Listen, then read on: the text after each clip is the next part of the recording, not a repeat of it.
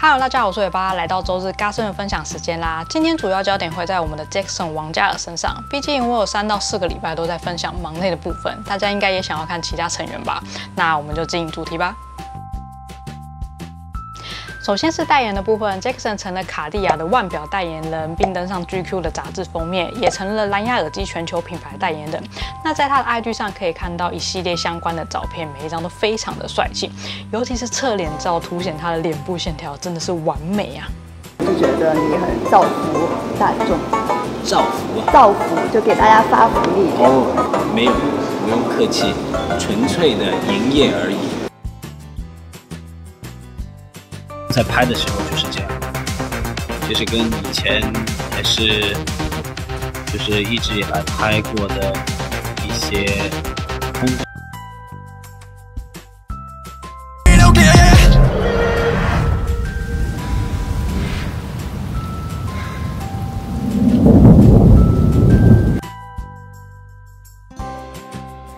另外，近期有朋友跟我分享百事可乐包装有王嘉尔，那我平常是喝麦香红茶跟益美红茶，并不太会注意汽水类的饮料，为此我特别去超商找他的踪影。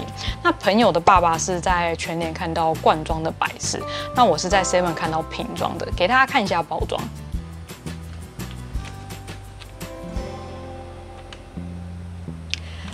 那因为它的瓶身是弯曲的弧度，没有办法平整，我才剪成这个样子。那大家有兴趣呢，可以去找看看哦。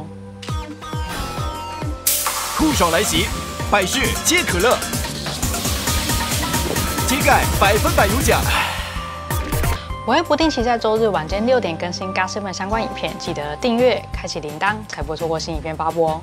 再来是综艺的部分，就我所知，王嘉有接拜托了《冰箱》第七季主持，以及出演《奔跑吧》嘉宾。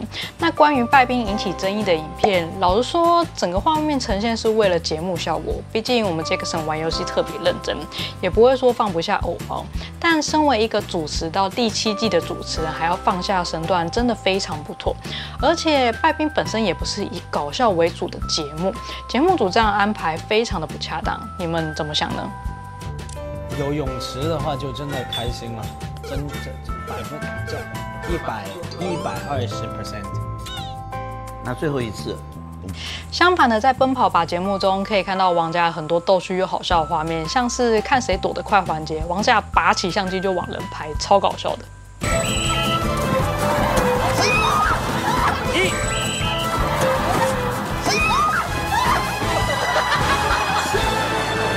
然后是因游戏没能完成自愿接受可怕秋千的部分，我们 Jackson 超帅气的，大家应该都知道他很怕这种游戏。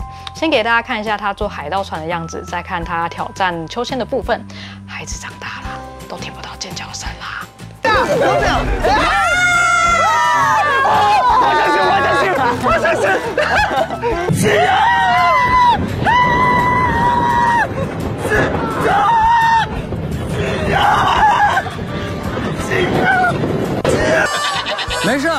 事，没事，表情不要这么难看啊，嘉尔。我表情有点难看，游戏嘛。嘉尔决定来挑战悬崖秋千，不是挑战是接受，不是挑战是接受。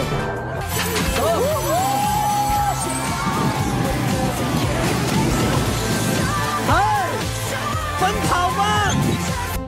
还好啊。哎，谁来救一下我？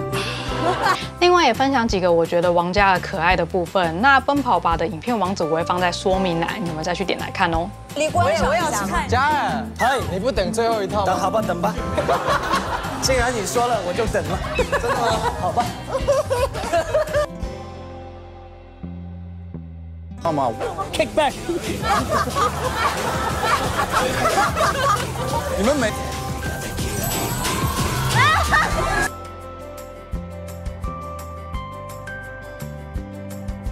白眼儿，哎呀，向前一步走，向后一步走。哎，你们向前了，放下。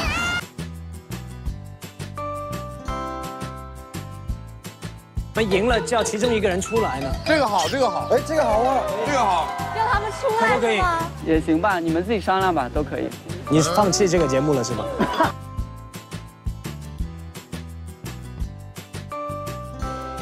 最后就是王家的龙登 K-pop 男团名身材第一名。那这个研究资料是由这个平台所提供的，并不代表每个人的立场。那我心目中好身材当然非 GOT7 莫属啦。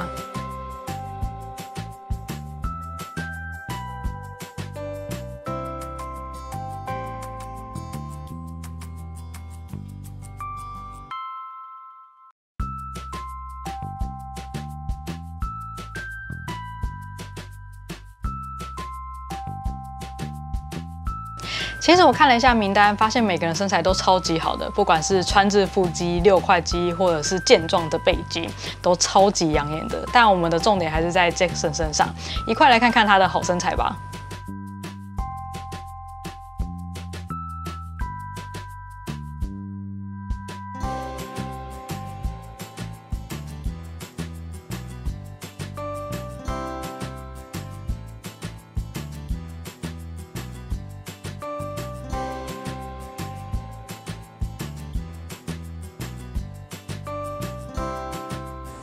今天的 Jackson 近况分享，你们喜欢吗？其实还有很多部分没有分享到，但我知道大家都有认真在追踪。